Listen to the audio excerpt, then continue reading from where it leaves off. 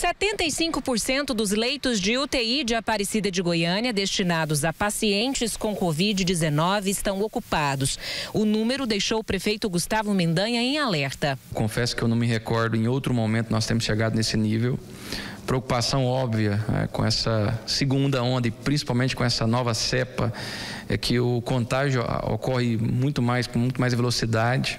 O prefeito disse que entrou em contato com o embaixador de Israel para solicitar que Aparecida entre no circuito de cidades brasileiras que vão receber um spray anti-Covid que está sendo testado por lá. Vendo esse, aceno do governo federal em colocar o Brasil à disposição, eu liguei para o embaixador e coloquei o HMAP à disposição também para nós possamos fazer uh, esse momento aqui na cidade para as pessoas que estão contaminadas e quiserem, claro, poder utilizar essa medicação.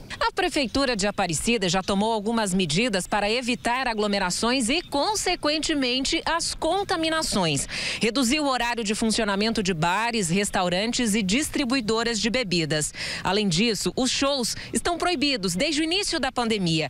Mas este é o momento da população redobrar os cuidados. Eu acho que é importante todos realmente tomar todos os cuidados, saber que as pessoas têm que trabalhar, assim como nós estamos trabalhando agora, mas é importante tomar os cuidados e principalmente finais de semana, esses momentos festivos, evitar estar aglomerado para não estar sendo contaminado e principalmente contaminando as pessoas que são do grupo de risco.